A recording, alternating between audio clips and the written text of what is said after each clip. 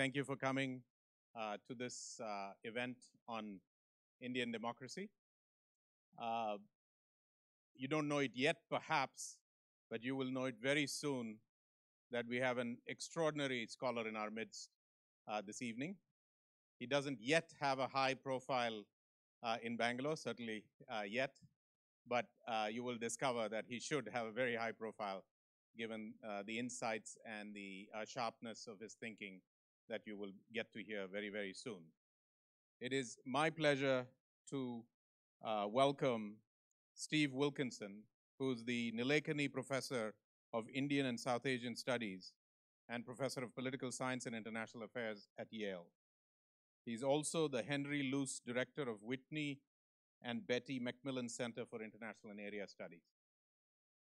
Professor Wilkinson, among other things, you can read the long bio, but in 2015 wrote a seminal book called The Army and Nation, uh, uh, published by Harvard, which used archival data from India and the UK as well as post independent sources, in particular to examine India's success in managing the imbalanced colonial army it inherited in 1947.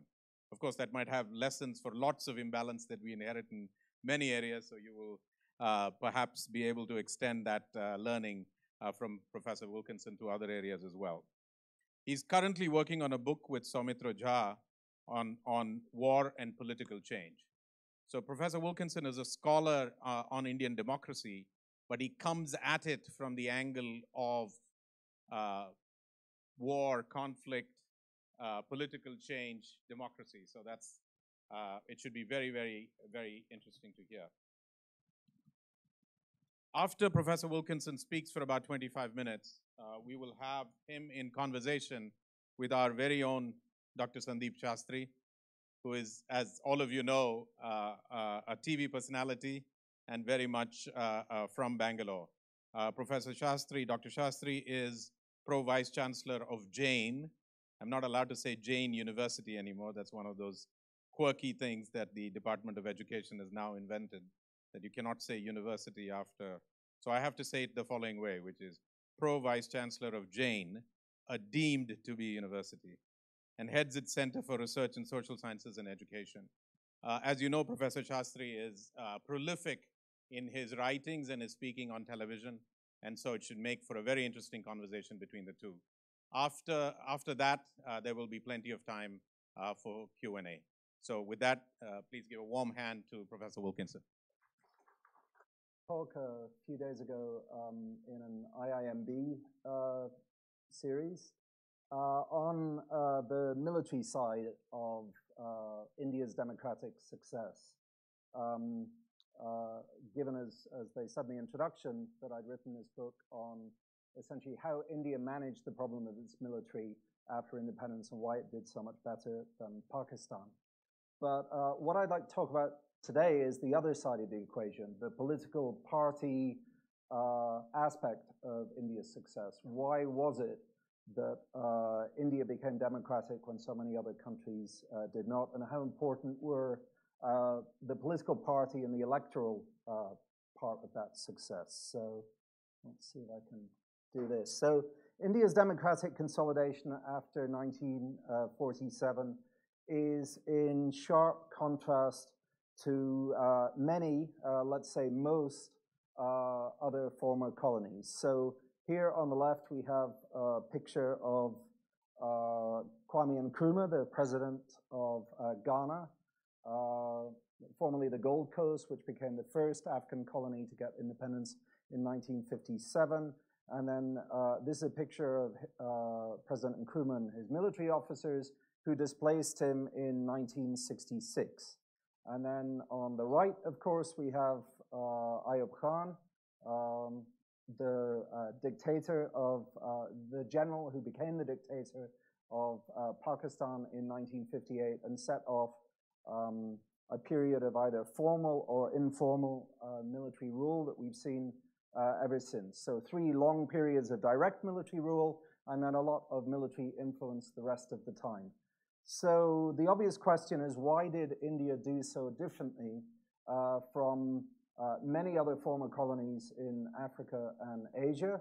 And then, uh, in particular, why did it do so uh, differently from Pakistan, given that they shared many of the same institutions uh, prior to 1947? So that's basically where I'd like to uh, take you in the next 20 or 25 minutes or so. And um, talk about the importance of parties, and in particular, the pre-1947 uh, period of party development in India.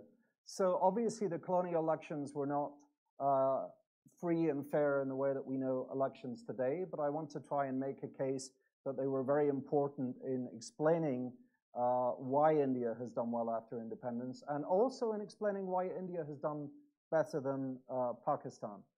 So the argument I'm going to make is that the broad-based party development that we had in the period prior to 1947 and the multiple elections that we had at the provincial uh, and local levels in India and the experience in government that Indian politicians gained during this period really helped India get over the hump of independence and then helped uh, the state take a lot of early and decisive actions to solve important issues in these different areas after independence. Civil military relations, the language, uh, regional and caste conflicts, and major things like land reform, which uh, were massive obstacles to, to democracy in many uh, other regions. So first, um, why, why would we think that party development in the pre-1947 period, in the pre-independence period would be important? So we'll have a little political science course. So there's, there's two things I want to, to sort of communicate. First, political scientists um, think that you can't have a strong democracy unless you have strong political parties. And in particular, they've come up with this concept of uh, party system uh, institutionalization to try and describe what they mean by what parties do for a democracy. So there's this list of these four conditions here that Mainwaring and Scully and other political scientists have talked about. So stability and inter-party competition, the existence of parties that have stable roots in society, broad agreement on the rules of the game, and party organizations themselves that have reasonably uh, stable rules and structures. So that's one important aspect of why parties matter. The other thing that makes it important, if you think of the, um, you know, the Arab Spring recently, where you had all these democratic um, movements against authoritarian governments, the authoritarian government collapses, you then have elections. Uh, why don't those lead to stable governments? Well, one big reason they don't lead to stable governments is all of a sudden people get to vote, but the political party leaders themselves haven't yet worked out the rules of the game, don't trust other people, um, and you end up with lots of conflict in an environment of severe mistrust where nobody agrees on the rules of the game and they haven't had a chance to work out whether the people they're dealing with are um, people they can do deals with or not. And you end up with uh, one election one time sometimes in these kind of states because people aren't used to the idea of alternation in government. They don't trust the other elites. Uh, and you get lots of conflict that can't be absorbed by the party structures. Um, that's a real problem. Most colonies uh, in the various colonial empires had some experience with elected governments at the time of independence. So what I, what I and a co-author, uh, Max Honorato, have done is gather data on 140 different uh, colonies and their experience of democratic government prior to, uh, oh, sorry, their experience of elections prior to the point of independence. So this shows you all these 140 uh, different colonies. And you know, as we can see, only um, a minority, 10%, had no elections of any kind prior to decolonization. So having elections prior to uh, decolonization is the norm. It's not an exception. Uh, however, that experience really varies a lot across different uh, empires. So in the British colonies, on average, you had much longer periods of total electoral experience compared to, say, the French colonies or the Belgian colonies or the Portuguese colonies. And in British colonies, a lot more of that experience was likely to be due to um, uh, local assemblies that actually had tax raising powers and ran uh, significant parts of the state, whether it be education, agricultural policy, or at the very end of the uh, colonial period, uh, law and order, than through um, elections to metropolitan assemblies. If you were in a French colony, you elected people to sit in Paris rather than to run your local affairs uh, back in the particular colony that you were, which is a very different kind of democratic experience than people get in uh, the government of the United Provinces or the government of Madras in India prior to independence after the 1935 Government of India Act, where there is some, uh, not complete autonomy by any means, but uh, there is some genuine control over important areas of local, um, of uh, local taxation, agricultural policy, law and order. So India had a lot more experience with these kind of elections than most other states. What I've done here is put all 140 colonies and, as, and the number of years um, before independence at the time of their first election. So you can see there's this real clustering over towards the left of the graph here. Most states only got a year, five years, 10 years, 15 years, 20 years of experience with any kinds of elections. And India has a pretty substantial period of uh, exposure to elections. The first municipal elections come in in India in the 1870s. And then we get uh, an expansion to the provincial level at 1909. Uh, then uh, we've got, after the First World War, the 1919 reforms, and then the Government of India Act in 1935. So there's quite a long period of experience with elections and with party development prior to the point of independence. And this just shows you the average years of elections at independence. In India, um, You've had uh, 75 years of any election since the first uh, municipal elections come in in the 1870s before independence in 1947. And if you're thinking about the provincial level or the state level, now it's 38 years since those first uh, provincial councils got established in 1909. Uh, but as you can see, that's a lot more than the average of the 20 other countries in Asia where you get 35 years of any elections on average, and um, you know most countries get a lot less than that. These averages are thrown off.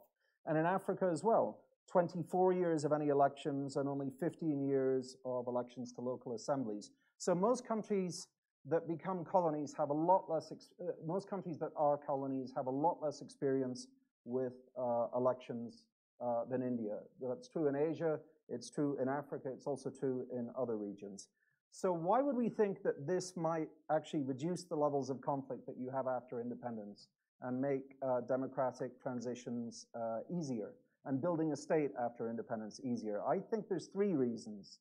Uh, firstly, if you actually look at the at the uh, debates in these legislative assemblies in Bihar or in Madras or uh, other regions prior to the point of independence, there are endless uh, complaints and moves by members of these assemblies to uh, devolve more power to Indians themselves. We want, uh, we want more uh, education. We want more Indians in top uh, jobs. We want an end to racist uh, restrictions that guarantee certain positions to Europeans. We want more control, basically. Um, and this has a direct effect on uh, human capital formation, you might think. So because the um, Indians are pushing through these legislative uh, assemblies for a devolution of uh, more power and opening up of uh, more jobs, more educational system positions to Indians, Indians at the point of independence are controlling far more of the colonial state than uh, other colonial states. So if you think of the Belgian Congo, it's probably the worst example of all the European uh, colonial uh, empires. Uh, the year before independence, of the top 6,000 civil servants in uh, the Belgian Congo, not one is Congolese. There are no Congolese officers at all in the Belgian Congo uh, army. There are 14 university uh, graduates in a country of 14 million who are Congolese, and there are tiny numbers of people in high school. Compare that to India, where there are tens of thousands of university graduates being produced each year, where the vast bulk of the state is being run by Indians, and even the ICS is 50% um, Indian just before independence. It's really only in the army that uh, the British keep control right up until the end. And even in the army during World War II, they recruit 14,000 new Indian officers as they expand the army to fight the war. So it's a very different kind of experience. The second reason I think that uh, adding uh, these, uh, that, that having these elections makes a difference is that it lessens the gap between um, the new state's laws and formal institutions and popular uh, aspirations in the country as a whole. So in the Congo example I just gave, all the rules had been made by Europeans. There was no local investment in these rules whatsoever. But it's a very different situation in India where Indians themselves are working some of the laws or creating in some case some of the laws. And obviously the tension between the institutions and the laws are going to be less. And the best example of that is that 1935 uh, Government of India Act, many of the clauses are taken quite wholesale into the Indian Constitution in 1950. Of course, many are dropped, but the Indians are deciding for themselves which ones uh, they can take, uh, which ones are useful and which ones aren't.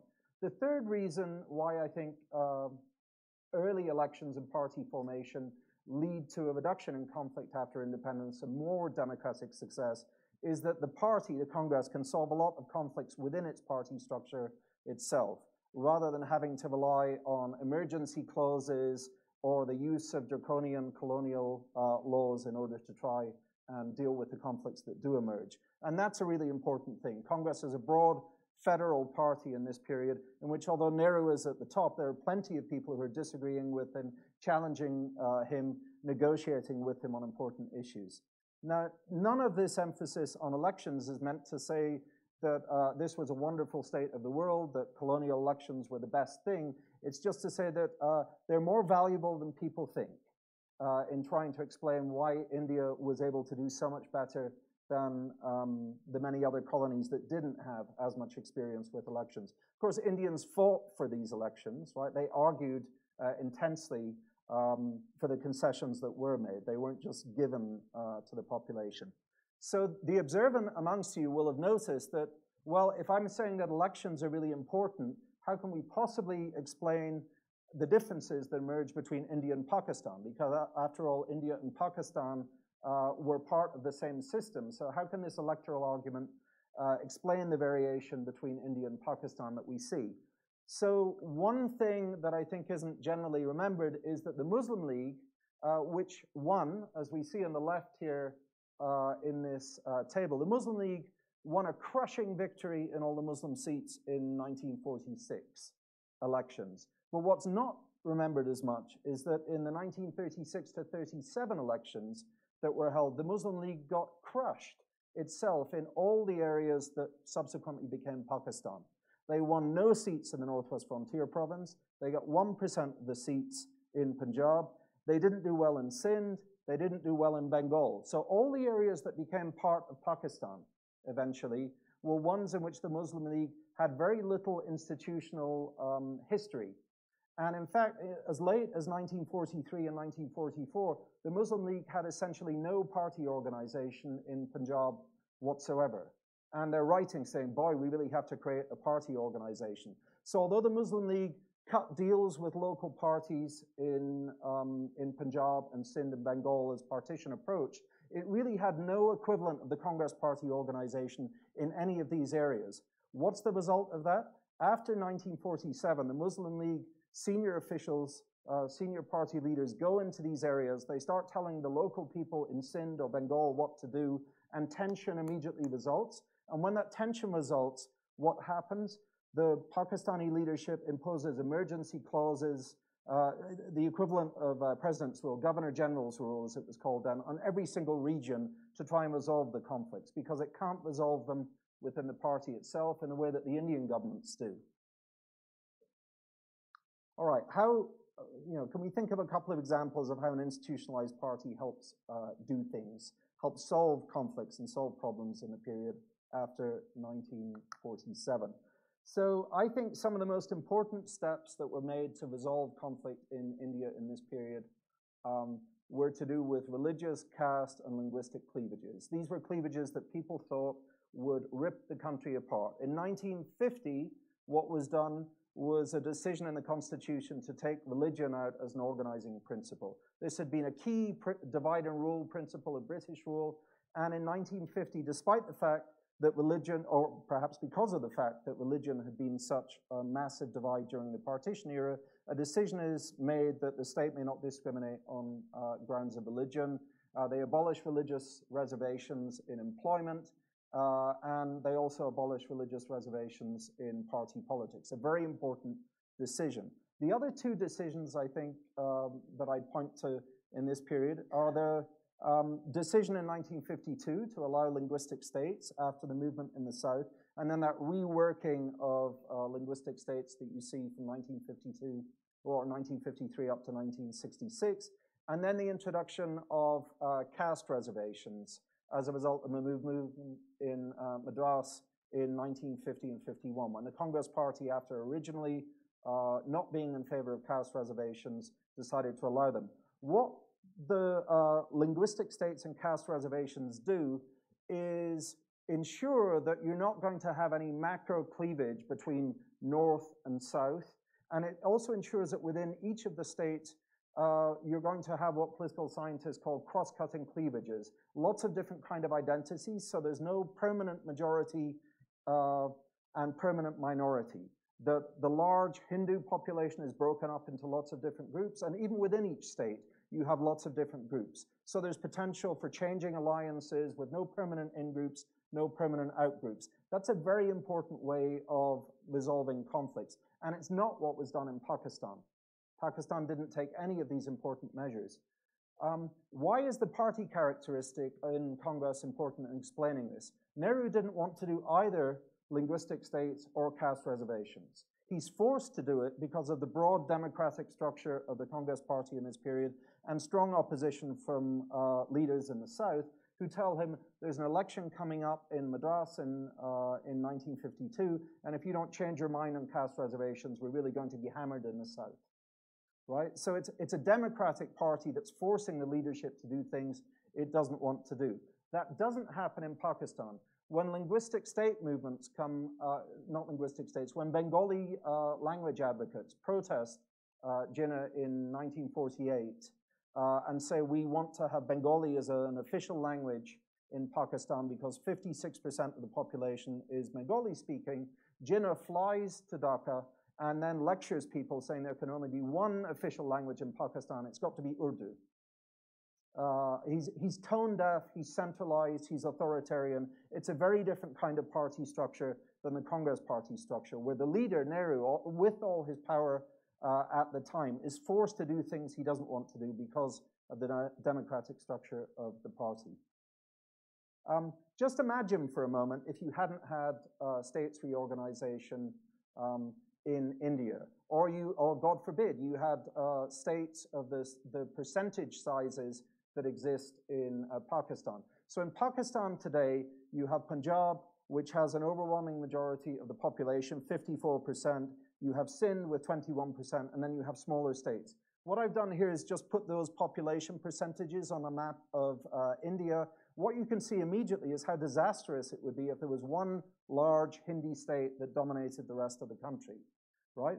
The move in India from nine to 29 states has really helped, uh, you know, resolve, diffuse a lot of the conflicts that could have existed uh, had you not had states reorganization. And then the caste uh, reservations have also introduced cleavages within each state. Regardless what you may think of caste reservations in general, they played, I think, an important uh, role in doing that. You also had early and very decisive action in India because you had a strong party to deal with civil-military relations. And I'll just give you a little bit of background on, the, um, on, on my work in that area. So remember that India had a very imbalanced uh, army during the colonial period. On the left, we've got the shares of each of the um, each of the major provinces in 1921. And on the right, we've got the shares of the army. And as you can see, more than half of the entire army in 1929 was Punjabi, and another 12% was uh, from Nepal, the Gurkhas. And then you had various other martial class um, uh, provinces that are highly represented. So this is a very unrepresentative army. Uh, Nehru and others were concerned that this would be an executioner of liberty after independence if there were no radical reforms that were made to the army. It was a conservative army. It was centralized under a commander-in-chief who sat in a cabinet. They had their own military intelligence at this time that snooped on members of the general population um, uh, and actually paid off people in various, uh, various provinces um, that they felt were political risks. There were lots of ways in which the army uh, was perceived as something that could be a real problem for Indian democracy if it wasn't dealt with. And India's political party leaders, because they had a large, structured party with its own planning and thinking about what the future was going to look like, had actually been thinking about how they were going to solve this for many years. So on the left is a white paper that they brought out from the Congress Party in 1935 and the 50th anniversary of the Congress, uh, Congress's formation, basically laying out a plan for what they were going to do after independence to solve the problem of the army. This is very unusual by comparison with most other colonial states. You don't see this degree of thinking, not just about the army, but about the economy, about agriculture, about major areas. Um, and, and, Patel is thinking about this too. Patel is a person who proposes uh, the NDA. He wants to diversify the stream of officers into the um, army, so it's not just people from the traditional groups, and you have multiple streams in, so it's not just uh, captured by any one academy or institution, and you're diversifying the streams of people into the army, and therefore diversifying uh, the risk. Nehru uh, is appointed External Affairs Minister in September 1946, uh, and instead of uh, spending his first week on external affairs, he spends it uh, writing a long letter to the uh, head of the army in which he basically says, here's all the things that we need to change immediately. Uh, we need to Indianize the army, we need to change its composition, uh, we need to establish that the civilian authority is superior to the military authority, and we need to recruit new police forces, like the CRPF today, um, that are going to keep the army out of domestic uh, law enforcement, because we don't want the army to be dragged into politics. That's really bad. Uh, India actually does solve all these things in the period from 1947 to 55. They changed the unified structure of the army in 1955 and create the structure that we have today with separate chiefs for uh, the Navy, the Air Force, and the Army. They um, make sure that the, these young generals uh, who get pushed up in promotion as a result of um, the British officers leaving don't get to hang around for too long and, um, and give a problem for democracy. So they're pushed out. Cariappa, when he retires, is sent off to Australia and New Zealand as High Commissioner. Uh, various other people are put off into side roles so they can't pose any potential threat uh, to government. They reduce the salaries and precedence. Nehru moves into Teen Murti in Delhi, which had been the commander-in-chief's house as a symbol of the fact that the civilians are now on top rather than the, uh, rather than the military. They do away with the domestic intelligence functions of military intelligence because they don't want military interference in uh, domestic politics. So in a variety of ways, India takes early and decisive action to deal with the problem of the military. One thing I'll say is that Pakistan does none of these things. Uh, Jinnah, Jinnah's idea is that once we create the state of Pakistan, that will in itself solve the problems. There are lots of uh, comments from people who were present at the time senior army officers that basically say Jinnah didn't understand the army, he never asked about the army, he doesn't really have a sense of this. Uh, it just wasn't a priority for him. But given the nature of the Congress and its long experience in government prior to independence, the Congress has been thinking about this for a long time, knows it has to take early action. If Jinnah had tried to fundamentally redo uh, the position of the Pakistan army with relation to the civil power in 1947 or 1948, I think he could have made a lot of those same changes that were made in India. But Pakistan waited, and by waiting, it let the army entrench its position. And uh, Bhutto, in the early 1970s, when he tried to do the same reforms that the Indians had done in the 1950s, ran into a lot of trouble, and ultimately the army took him out in 1977. And no Pakistani uh, leader since then has tried to uh, bring about any kind of similar changes in the fundamental relationship between the army and the civilian government for obvious reasons. Nobody wants to uh, meet the same fate as Bhutto. So uh, let's see. I think uh, these were not free and fair elections the way that we understand them today, but they were very, very important in explaining why India didn't become Pakistan and why India has done so differently than uh, many other former colonies. So I'll stop at that point and uh, let Professor Shastri um, uh, ask questions. Uh, I think there are several points which could be the starting point of the conversation. Let me raise the first. You mentioned in passing about how uh, the Congress party had the advantage of a party structure Mhm. uh, prior to independence, which it was able to build up upon Mhm. after independence. Whereas the same benefit was not there in Pakistan vis a vis the Muslim League. Now, can I stretch that argument a bit and say that maybe it's also linked to the fact that all the leaders of the Muslim League who played a role in the creation of Pakistan Mhm. uh, did not live for too many years after the country's independence. Uh, within a few years, the crop of leaders in Pakistan who came to dominate the Muslim League had actually had a very little role to play as part of the Mhm. creation of the country. Whereas India's advantage was that for at least 17 years after independence, we had the stability of a leadership. Uh, and I'm, I'm not just talking of Jawaharlal Nehru, but the entire uh, range of leaders at that point of time who led the country, but had also been very important part of the freedom movement. Yeah. So would you say that's also an important distinction, not just the fact that the Muslim League did not have a leadership emerging Yeah. from the multiple parts of what became Pakistan, but also the absence of the leadership beyond a particular stage of uh, time? Yeah, I would- say that the character of the Muslim League as opposed to the character of the Congress Party is very important. Jinnah, um, nothing, nothing grew under the tree in Jinnah's party. Um, Jinnah was at the top. Um, Ayesha Jalal, a historian, has written a book called The Sole Spokesman because he really tried to marginalize every other important uh, Muslim provincial leader at the time, um, you know, Suhrawardy and, and others, uh, by saying, I am the sole spokesman, and you need to do exactly what I tell you. And he had his lieutenant, Liaquat Ali Khan. Both of them died uh, early. Jinnah died in 48. Liaquat was assassinated shortly uh, afterwards. And the Muslim League was left in a very bad situation at that point. Because of its internal structure, after these couple of leaders had gone, there was really hardly anybody left. It's a, it's a complete failure of party organization. Uh, it turns out that the party you needed to win independence, uh, and Jinnah welded that through his own force of will, did incredibly badly after independence. Sometimes in class, I, get, I ask my students uh, to do a little thought experiment and say, supposing um, the, the Congress Party had been headed after 1947 by somebody with Jinnah's personality rather than Nehru's personality, um, how, would, how would things have turned out differently? And I think um, had there been somebody as uncompromising as Jinnah at the head of the Congress Party, the various provincial leaders, this wide, broad bench of people who'd come up through the independence campaign, would have taken Nehru out.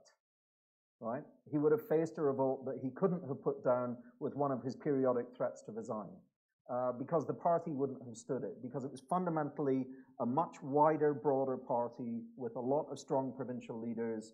Um, you know, Pant, others would have would have taken him out. So I very much agree with with. with Let me comment. take the last point you made uh, forward. Uh, we are today in a world where uh, uh, a lot of people don't like to use the N word, the Nehru word. Uh, we are in a world where we are trying to uh, rewrite history and talk of history in a different way.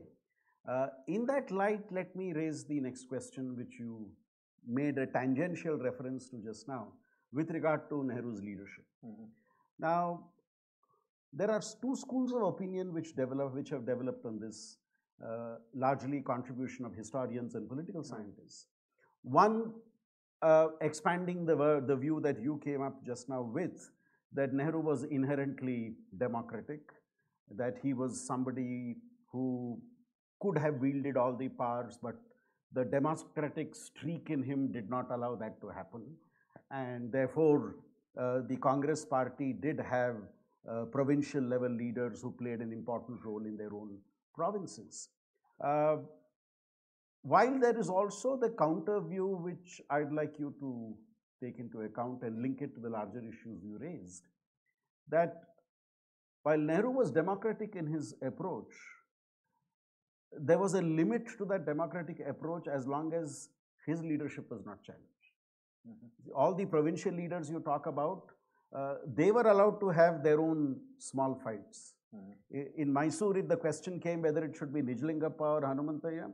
Both went to Nehru, and Nehru said, Look, I will not look after it. Both of you resolve it among yourself. Mm-hmm. Because Nehru did not want to play one against the other because either of them would accept his leadership at the end of the day.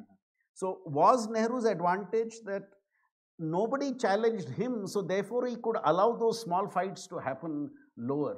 So, uh, the critics would argue that that was not a democratic streak, but then the fact that his leadership was, effect, uh, was uh, accepted did not uh, allowed him to uh, have at the lower level the interplay of uh, politics, which his daughter did not have a privilege of later, and therefore brought about the centralization of power that you see. How would you respond to that comment? Um, I mean, Nehru, Nehru did feel himself challenged sometimes, for instance, by the socialists in the early 1950s. Um, one of the techniques he used to try and deal with these uh, challenges was to threaten to resign periodically, which is something we've seen in, in you know, amongst other prime ministers uh, over time. Periodically, you say, if you if you don't do what I want, I'll I'll do this. That's not happen. That's not happening in Karnataka today. But that's but that's but that's a very different response than the Jinnah response, which would have been to say, I'm going to impose Governor General's rule, or I'm going to impose President's rule, or I'm going to um, you know smack you with an authoritarian response. It's it's very different. The the worst um, mistake that that Nehru made, I think, uh, with regard to uh, dealing with party dissent was with uh, Krishna Menon um, and the whole question of India's defense, where Menon was very unpopular. Many he was unpopular personally, but also many Indians uh, at the time uh, thought, rightly as it turned out, that he was hurting the country's defense. Uh, you know, in the, in the run up to the um, to the China War, and uh, Nehru tried to save Krishna Menon in 1962 after the China War by threatening to resign again. And that was a point when the various uh, state leaders said, uh, well, if you have to go over this, you will.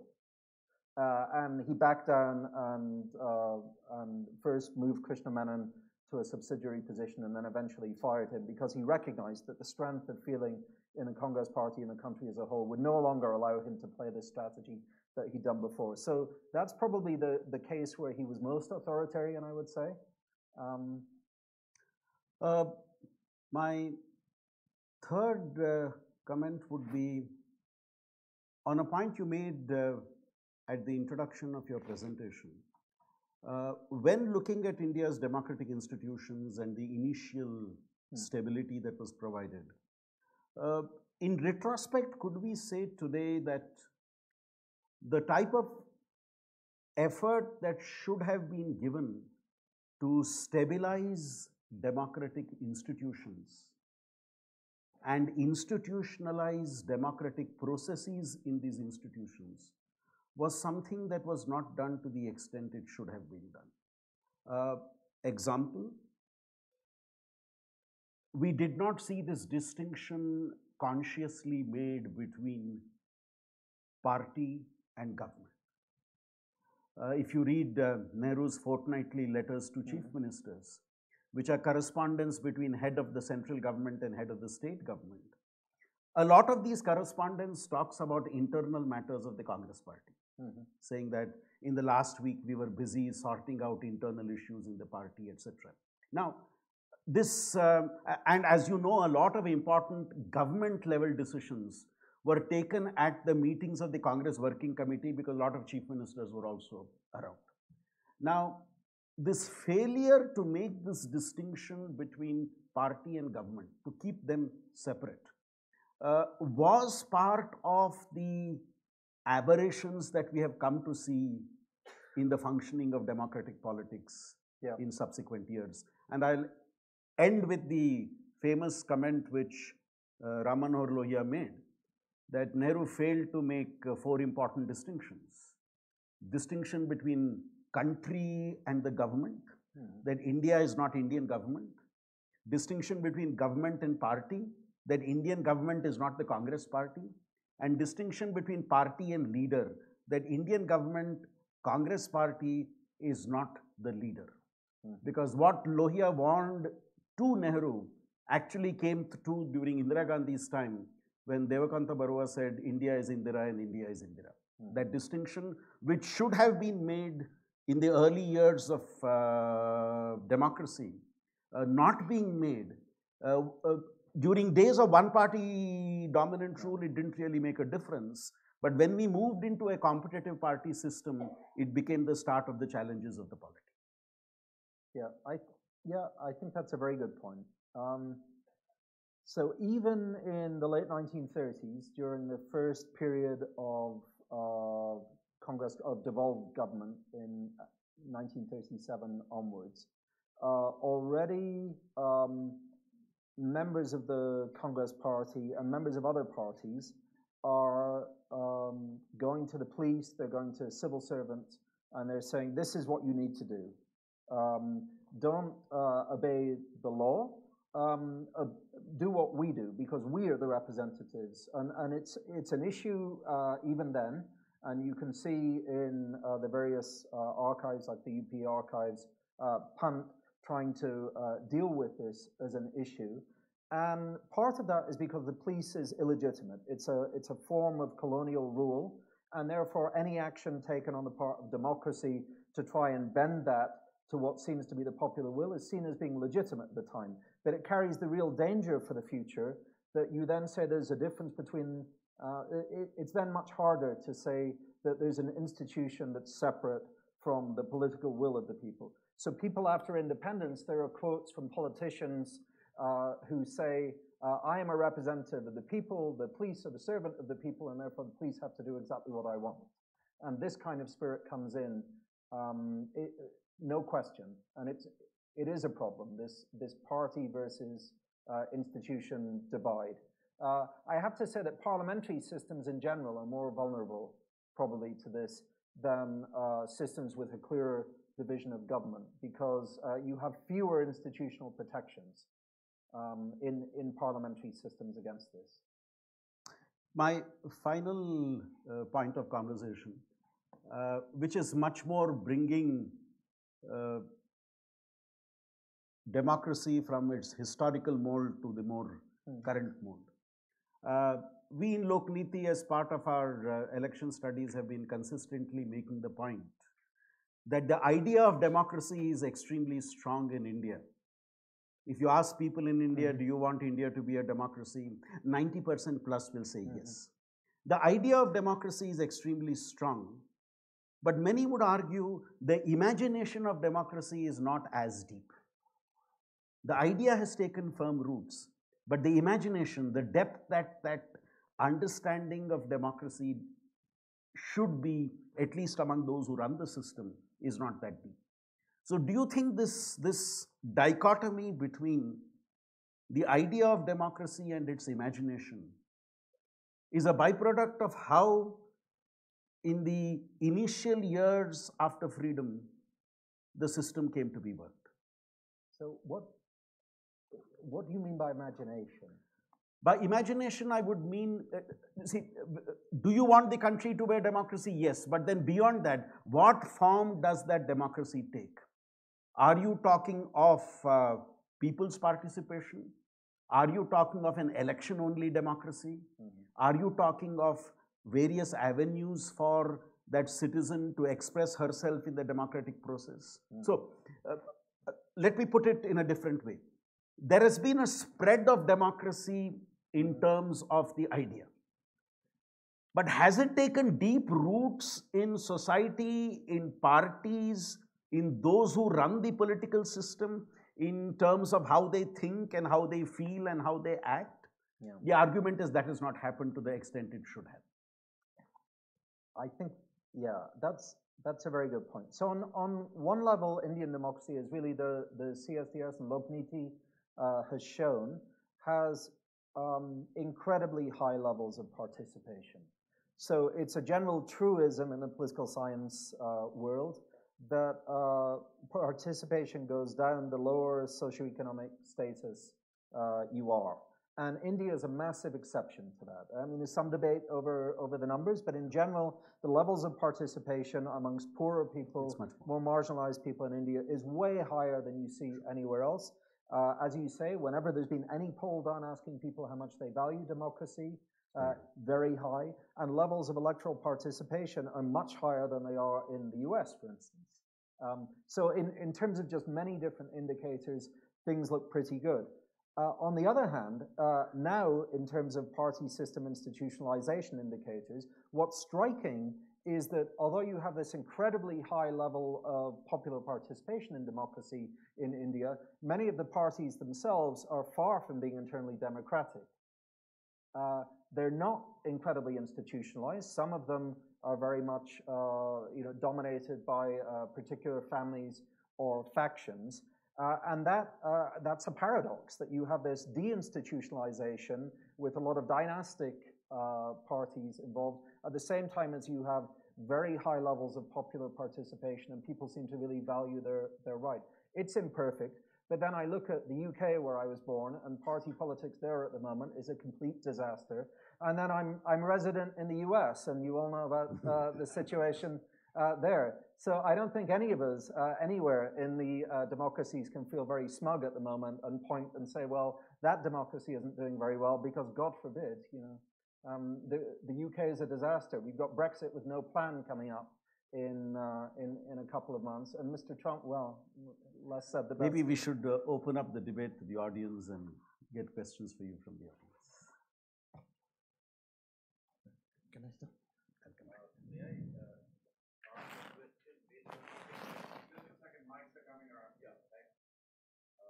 This is based on this, uh, the notion that India has, It's working, let it be a little louder maybe. yeah, yeah, fine. Uh, that we have had a democracy, we, our democracy is a success, because that's what the byline of what you're saying says. The answer is obviously yes and no, because that's where it comes up, whether you call it the idea of India or the idea of our democracy. I think the problem was in 47 when India became, this is a personal view, but I suppose others might share it. In 47, we had gone from being one of the richest countries in the world to one of the poorest countries in the world, per capita at least. I think with all Nehru's other faults, one of the problems that he had, and, and he brought us out of the rut in many ways. Uh, the problem that he had was that we didn't have money either to feed our people or to teach them values or schools were just impossible to provide or to do industrialization of the country. He chose a process which was not socially, well, well, the social sciences, I think, suffered at that time. Mhm. The dem- whereas our democracy, in any case, democracy was a Western concept. India wasn't a democratic country with 500 kingdoms till then. And it's a French notion, it's not even a British or an American notion where there were wars going on all the time. So given that scenario, I think we could not have, and unfortunately, we, we could not have got into a demo, democratic mode with with uh, with clarity of what the democracy should be, what democracy is, and what it should be. We loved the concepts in the in the constitution that was laid down by those leaders who knew what democracy was, who at least had an idea of what democracy was. The average person did not. He loved going to uh, vote, but he didn't know what was happening. Would you like to respond to that? Um, I mean, there was a debate over whether there should be a mass franchise, um, with some people saying, let's not take the risk. There are many people who don't understand um, democracy, who aren't ready for democracy. Um, let's restrict the franchise. It was a 14% roughly of the population franchise in 1947.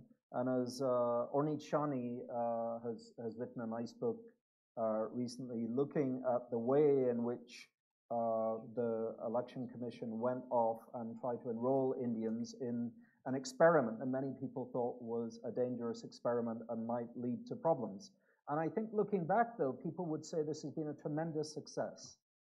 Uh, that India took the risk of mass enfranchisement And uh, the, the poorer segments of the population, the less literate ones, value democracy just as much as the other people. And what's ingrained now, whatever we may think the problems are with Indian democracy, one thing that's clear is that all segments value alternation of election, you know, regular elections, alternation in power, their right to vote. That, that is deeply, deeply ingrained in the population. And you saw this in the emergency in the 1970s. You've seen it at various other times. I think the other, the larger point is that when Rajendra Prasad discussed the provision on giving everybody the right to vote, he called it an article of faith. And I think that was a faith which was well posed in the people of India. And as you made a reference in passing, it's actually the less educated, less privileged, poorer groups of society which are actually more active in the democratic process. Uh, India has that rare case of voting above national average being much more in the less economically socially privileged and the rural parts of the country than the other side. So in a sense, that point you make about the strength of Indian democracy being its level of participation, mm -hmm. I think is a critical factor. Uh, yeah, to yes. what extent? Yes. Yeah, hi. To, to what? Oh, yeah. Yeah, after you, it comes there. Yeah. Okay. Uh, thanks very much for the riveting presentation. I have two questions. First, concerning the Belgian Congo example. Yeah.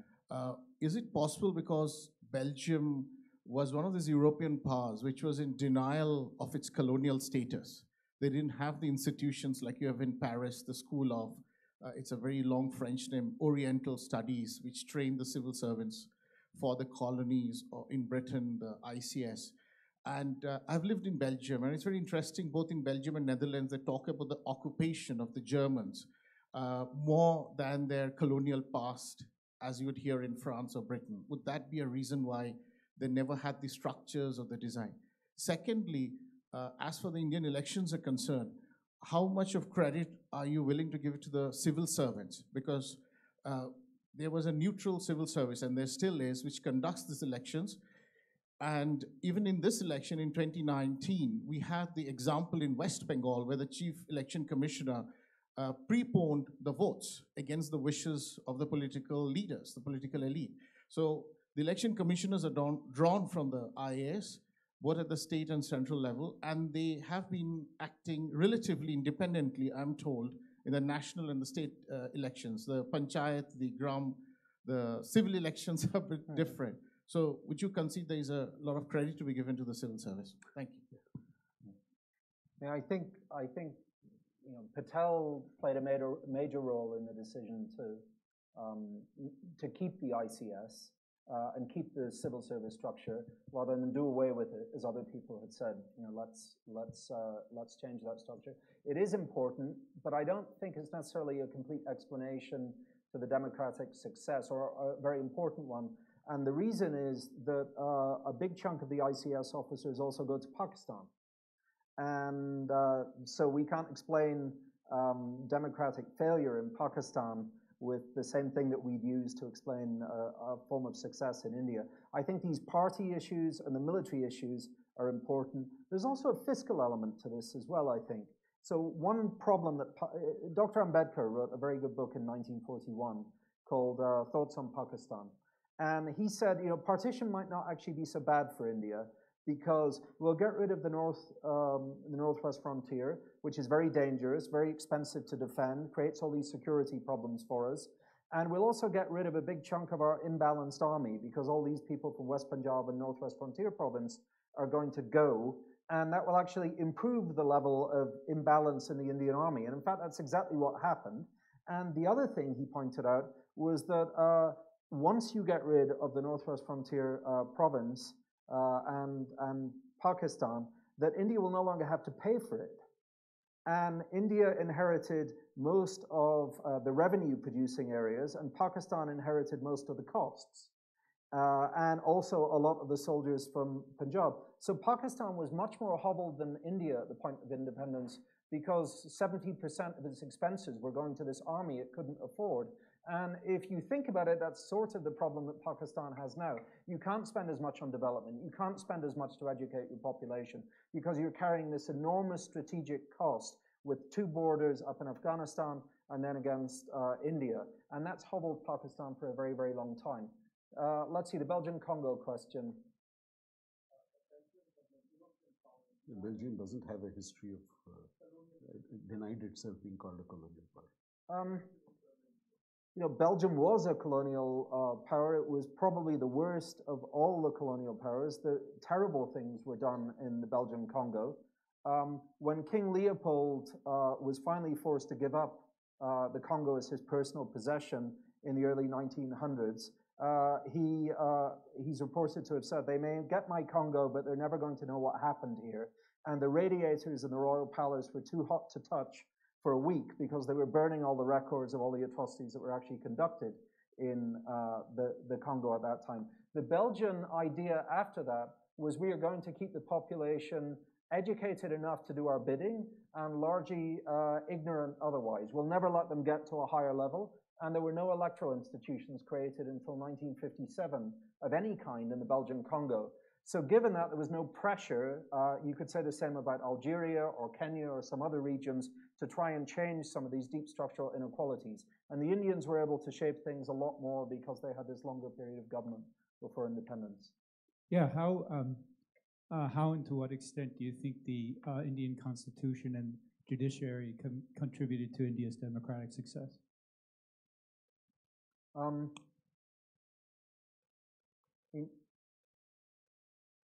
tremendously, really. I mean, a, a, an independent judiciary is absolutely key. Um, the Indian constitution is the is the longest constitution I think in the world. Um, it's it's stood the test of time really pretty well. Chunks of it are adapted from the 1935 Government of India Act. What were the key decisions? Uh, main, maintaining a, a, a, federal system with uh, strong unitary um, aspects was very important. Uh, the division of resources between uh, the uh, state and the center, very important. Having a large national civil service that helps link the state governments to the, to the central governments, those are all key decisions that were made. Um, there were then adaptations made along the way. As I said, the First Amendment to the Constitution um, dealt with some of these caste issues uh, that we talked about, reservations, inequality. Um, it, it also, unlike most constitutions, says here's where we think we're going in terms of our um, goals. Uh, most constitutions don't have any of that. They just have here are the rules rather than here are the aspirations. And the Indian constitution is important, I think, because it also gives you uh, aspirations. I don't know, what would you say? You're, you're... I, I, would uh, fully concede your point that the advantage we had also uh, was a constitution which, as you rightly said, had a large element of the Act of 1935, but they did bring in a strong flavor of what they thought was the requirement of that time. And I think the, the way the preamble spells it out, uh, and that's the reason uh, scholars have really looked at it as a document of social justice in that sense, uh, given the type of uh, uh, framework it set out for uh, the leaders of independent India. Yes, you have been wanting to ask a question for the long, for long. yeah. Can you give the mic here, please, in the center? Um, can I ask a question? No, wait a minute. He has been waiting for long. I would like to uh, sure. give him a chance.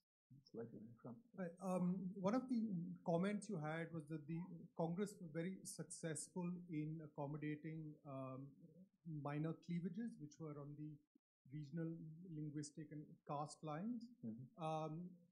And, uh, to, to um, would you imagine that uh, suppose it had been the BJP in power in 1947, given that the, the constructing an identity of political Hinduism which goes above mm -hmm. regional and caste lines, um, do you think they would have been less successful democratically in uh, ending up with a multicultural society that we ended up in at that time? Yeah, so the, sort uh, right, so the BJP didn't exist at the time, but, but, um, but the Muslim League in Pakistan tried to deal with the great diversity that it faced in Pakistan in 1947 uh, through a policy of saying, here's one large Muslim identity, Pakistani identity, that we're going to uh, create that's going to unify us, given our various um, uh, our various fissures. And we're not going to have states reorganization or provincial reorganization in Pakistan because we see that as divisive. And we've just come out of this bloody partition, and we don't want anything that smacks of that. Uh, and you'd have to say in in that particular period, that was not something that worked. It didn't have the desired results in, in Pakistan. Uh, the Bengalis, the Sindhis, the Baluchis, every single, uh, you know, the, the uh, Pashtuns, every single unit starts to protest, and then emergency clauses are used to try and do this because um, it, it, was a, it was a solution in Pakistan that uh, didn't accord with the underlying diversity of, uh, of the country. There were people in India at that time uh, who also said, let's not have linguistic states, let's have larger national uh, unifying uh, concepts in this, in this period. Uh, let's not acknowledge uh, caste diversity, religious diversity, and um, you know, a different vision won out. And for that period, it was a more successful vision than the, the solutions that were tried by Jinnah in Pakistan. Um, good evening. My name is Anubhav uh, here. Okay. Um, uh, okay. So uh, my question to you is: uh, Is it justified to look at the success of Indian democracy as a comprehensive whole? Uh, and in continuation of the same, for example, uh, in context of Jammu and Kashmir, would you what would you pin down the problem there in terms of why democracy democracy uh, is facing problems in permeating that state? Is it merely because of asymmetric federalism, or, or there are reason uh, beyond that that you could be able to identify? Thank you. So I'm not an expert on uh, Jammu and Kashmir. I mean, it, it, it's it's clear that people point to you know they point to Punjab, they point to Jammu and Kashmir, they point to nor- the Northeast as various times as saying these are you know significant problems with uh, Indian democracy. Um, those are very important regions. They're also relatively uh, small shares of the Indian population, right?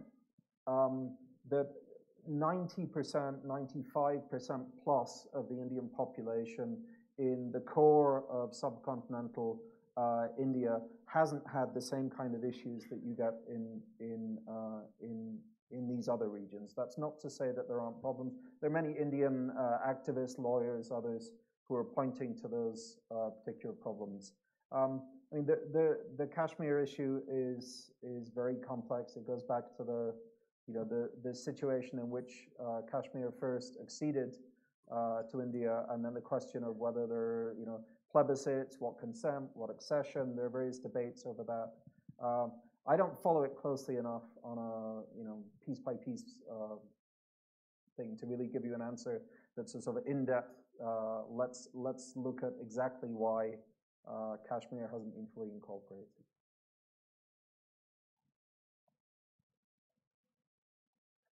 Uh, I just wanted to have your view when you compared India with other colonies, uh, would you say that uh, a large educated middle class made some difference if you compare it with other colonies? Mm -hmm.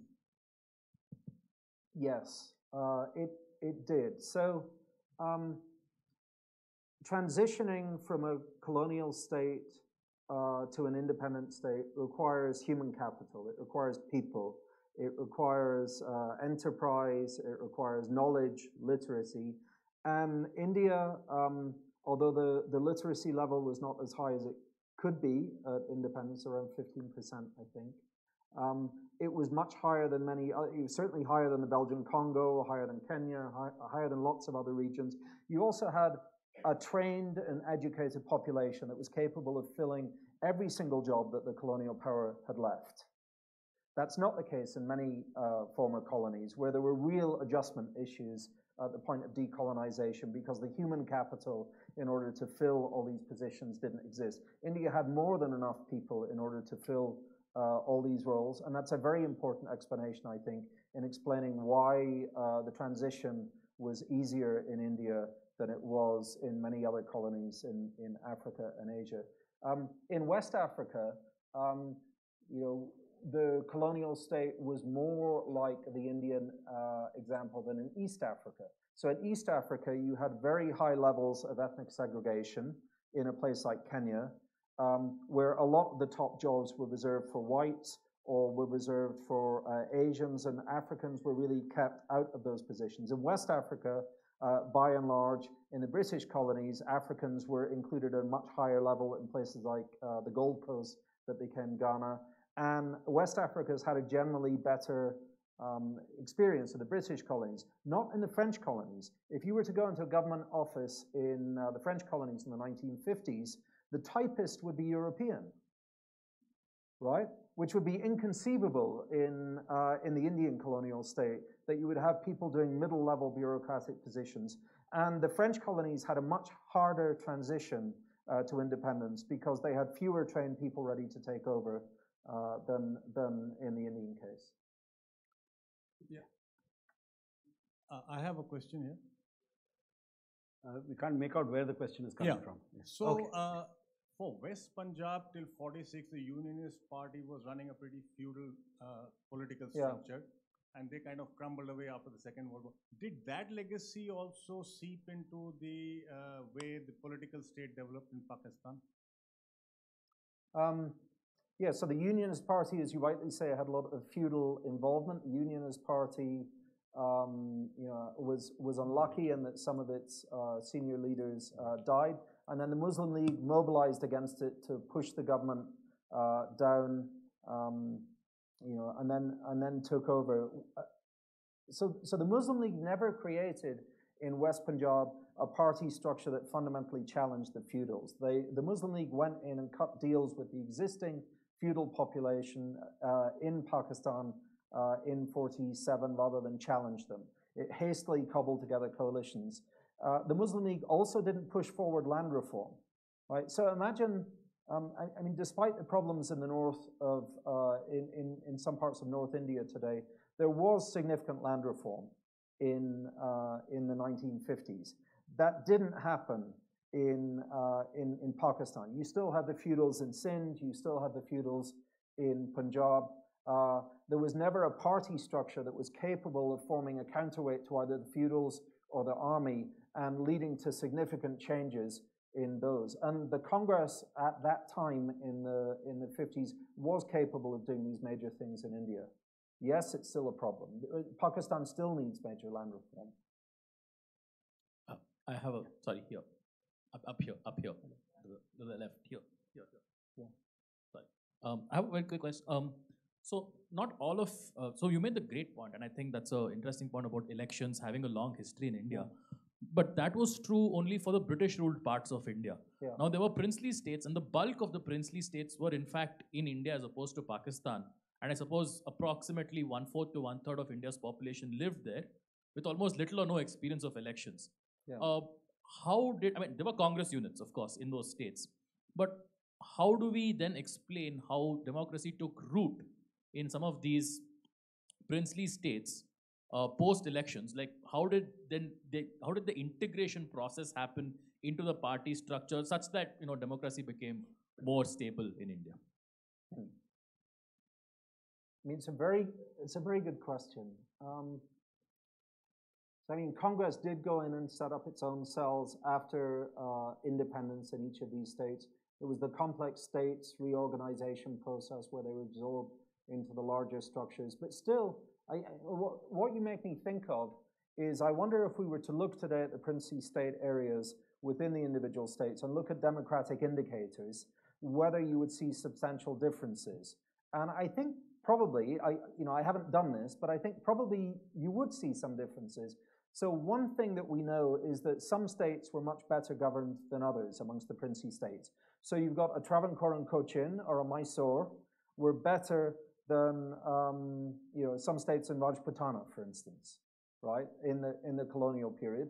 And my my guess would be that the Travancore and Cochin um, story uh, is going to be a lot happier, or the Mysore story is going to be a lot happier than those other states, in part because of the character of the princely states pre-independence. So there were assemblies in some of the southern states. There were significant investments in places like, uh, like Mysore or uh, Travancore and Cochin in the education of lower castes and the education of women and development that look very, very different than those in other princely states. And probably those, those are going to be correlated with changes in, in public goods, development, democratic participation today.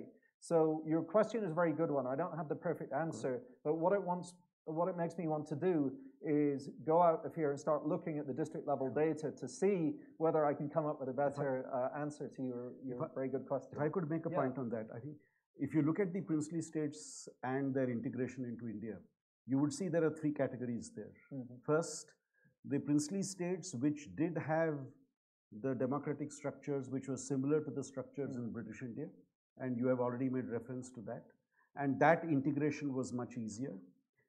Secondly, you had certain princely states where you did not have the democratic experience, but then you had a strong presence, as you said, of the Indian National Congress in those regions, mm-hmm. which were already there fighting against, in some ways, the monarchy or the, the kings in those uh, mm-hmm. princely states. Thirdly, you have those which neither had a strong presence of the Congress nor had a representative mm-hmm. institution. And if you look at some of those, the process of integration into democratic India, the type of uh, party leaders that emerged there, the classes which from which those leaders emerged, you will see there is that clear pattern of the more affluent, the more elite emerging in the leadership positions in the beginning there. And those states having a much longer period of transition mm. to truly democratic rule. Are you thinking of somewhere like Hyderabad? Then? Yes, yeah. states like that, and also what the, the Rajasthan that you referred to. Yeah. You have a much slower process of, uh, of uh, the uh, different social groups getting into the process of governance. Mm -hmm. Yes, yeah, yes, ma'am. Yeah. Yes, very well. Uh,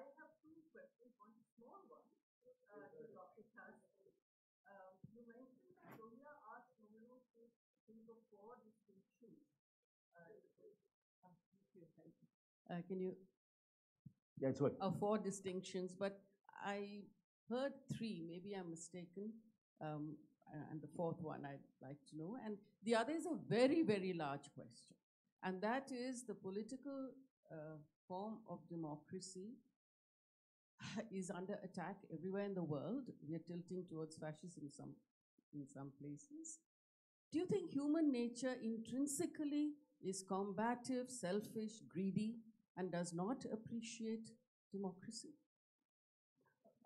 The second question is for you. I'll quickly answer the easier question and then leave the rest time to you. Uh, I was talking of four distinctions across three levels country, party, government, leader. So the four, but then when you talk of four distinctions, it's at three levels. So therefore, it looked three levels, but it was four distinctions. Hmm. Um, I mean, if you ask people, they say that they value democracy and that they want democracy, and yet all of us seem to be very dissatisfied with our political leadership and the way that democracy actually functions wherever we live in the world. Um, uh, is that because, so why is that? Um, one thing is we, we want, uh, we want everything. We want high services, low taxes. We want a lot of incompatible things. And politicians respond to that, and often we don't like what they come up with. Um, so is the imperfection with democracy or is the imperfection with our incompatible desires and politicians responding to those? It's a hard, it's a hard question to ask. Uh, I don't know what you would think. We have tried to answer that in our Lokniti studies in another way. Uh, in India at least, is it the emergence of the critical citizen? The citizen who is not willing to take anything that the state offers and says that we are moving towards uh, fulfilling people's aspirations the citizen wants to interrogate its leadership, wants to question its parties, and over time, having lived and worked democracy, this desire to inter interrogate your leadership is today much stronger. That's our argument. But then the larger question, and I would also uh, crave his indulgence on that, uh, is it because we are increasingly seeing a polarized world and a world where the differences between people are becoming much more skewed. Mm. And this differences becoming, becoming skewed is part of the reason why this whole concept of we and they is coming up and to a certain extent explains the, the rise of the right across the world. Uh, in fact, uh, when the US elections happened, a lot of us in the beginning said that Trump is going to divide American society. But as he got closer to winning, most of us said he's not going to divide American society, but represents a divided American society. So, in a sense, I think this, this, this hiatus is caused by that existing gulf in society. So, in a sense, politics mirrors the reality that you find in society. That would be my immediate response to the point you made. I, I, I, I mean, there are high degrees of polarization in many societies at the moment, much higher than they were in the 60s or the 70s. So if you, um, and, if we take a United States example, um, if you look at the ideological um, um, uh, composition of the United States Congress in the late 1960s or early 1970s, there are ways that you can categorize people on ideology from left to right. And if you look at that in deciles, in the, um, in the 1960s and the early 1970s, you get Democrats and Republicans in most of the deciles, right? It's only at the very extremes that they go to one or the other. Now, some of that's for bad reasons. You know, you have a very racist Democratic Party and you have, you know, more Republican moderates, uh, that that's a bad reason. But if you look at those charts today in the US, the only place there's any overlap between Democrats and Republicans is the middle bit and every other one. The Democrats sort on one side and the Republicans sort on the other, and that creates massive problems in government uh, because uh, people don't agree on anything and they regard the other people on the other side as, uh, as enemies. Uh, and, and you see this in, in a variety of different uh, countries across the world. What's leading into that? Well, um, you know, social media, internal homogeneity in uh, parties, in which people who don't agree with the leadership of the party on every single issue uh, are pushed out. Uh, in, in the US, that's very, very common. So you get an ideological sorting which creates much less potential for actually uh, you know, uh, compromising with people who are ideologically different than you to try and come up with better solutions for policy. And that's certainly a problem in the country I live in. Uh, it's also a problem in the UK. The enemy language uh, comes up a lot. Yes. Uh, thank you. I wanted to ask a question about this. You have to be a little louder, please. I want to ask a question about the civil-military relations. Uh, given that in the more recent times, uh, the actions of the military is being used to get a stronger political foothold, uh, how would you see civil-military relations today?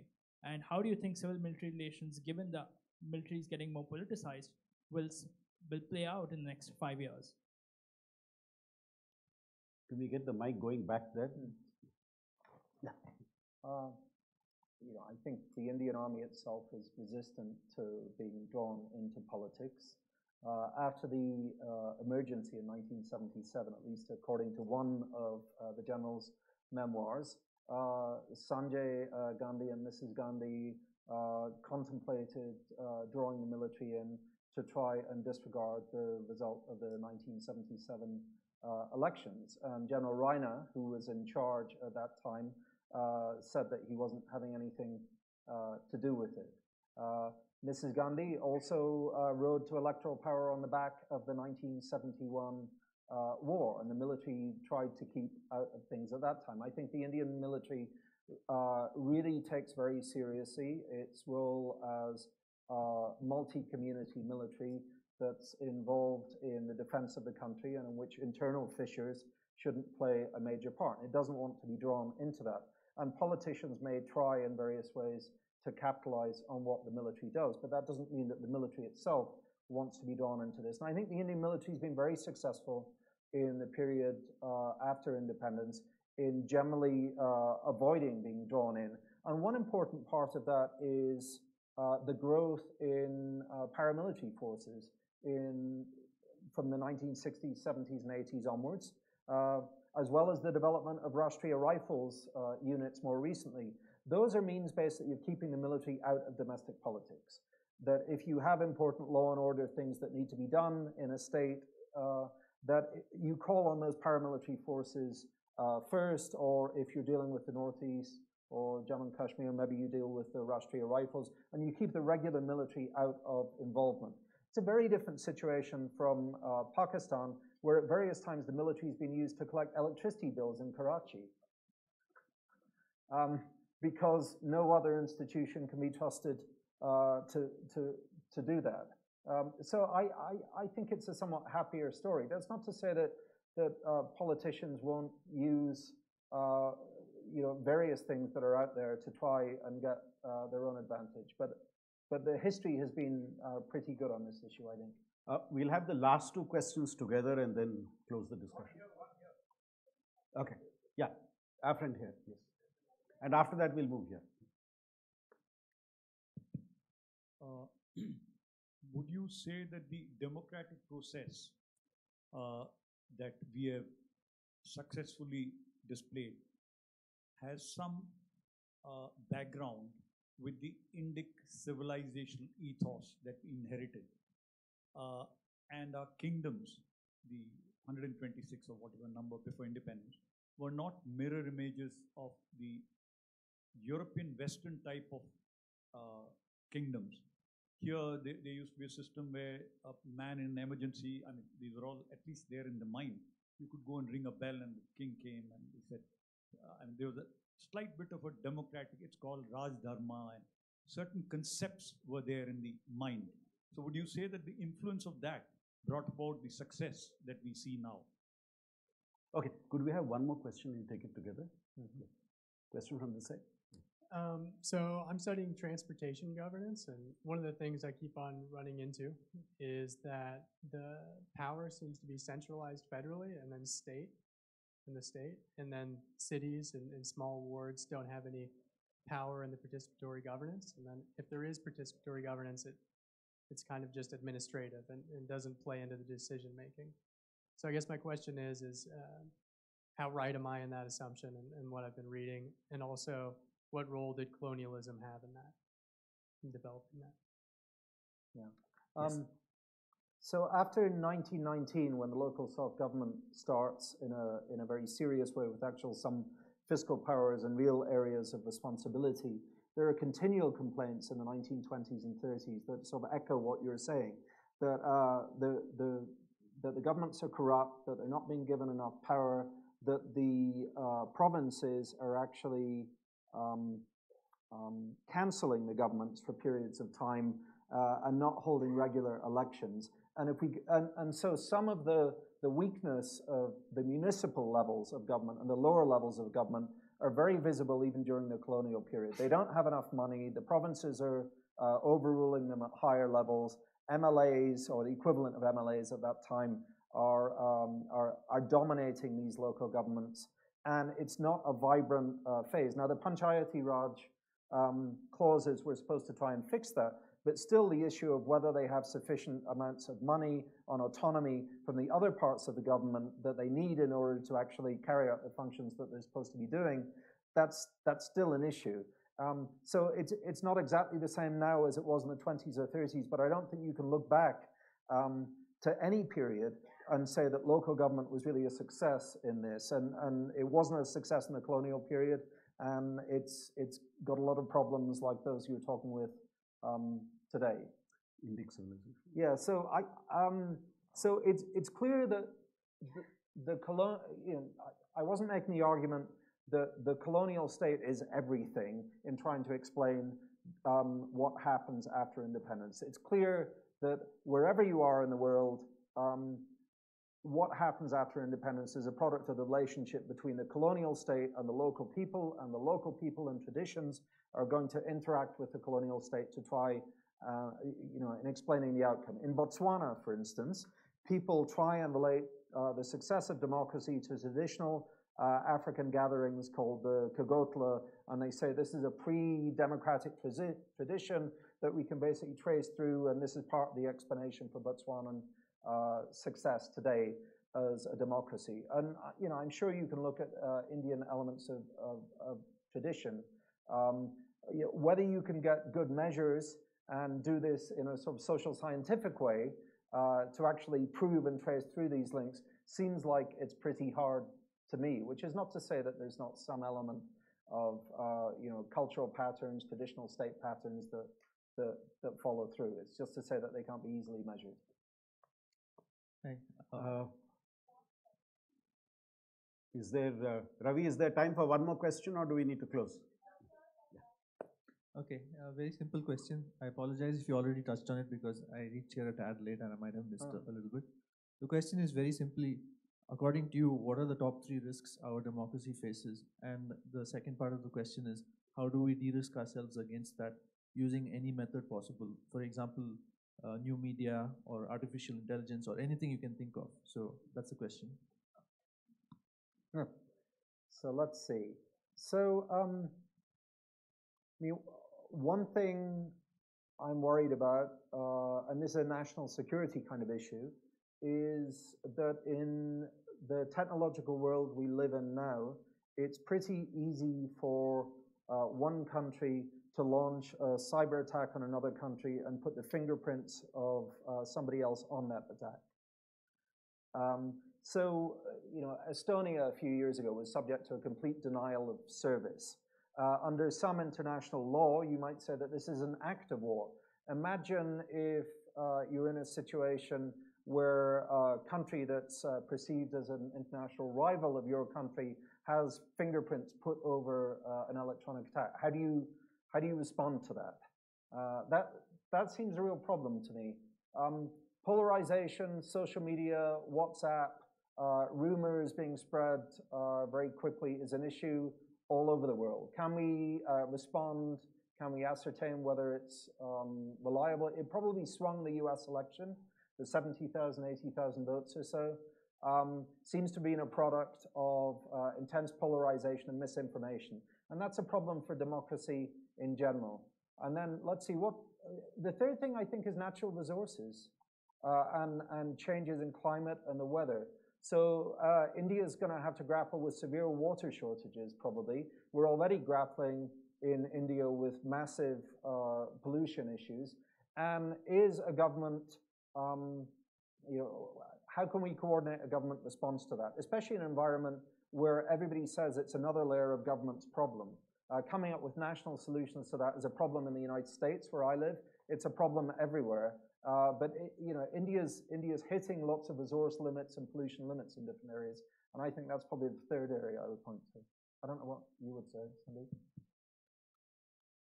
Friends, I think we have had a very, very uh, interesting conversation with Professor Wilkinson, and I'd like to thank him for having spared this evening for us and having responded to all our questions and having answered such a range of issues. Uh, I wonder whether there is a formal, uh, is there a formal vote of thanks from the side of the? Yes. So BIC would thank all of you for coming to our event today. We'd love to thank um, Professor Steve Wilkinson for being here today and Dr. Sandeep Shastri for sharing your views on these issues. Thank, you, so much. Thank you. And thanks, Sandeep.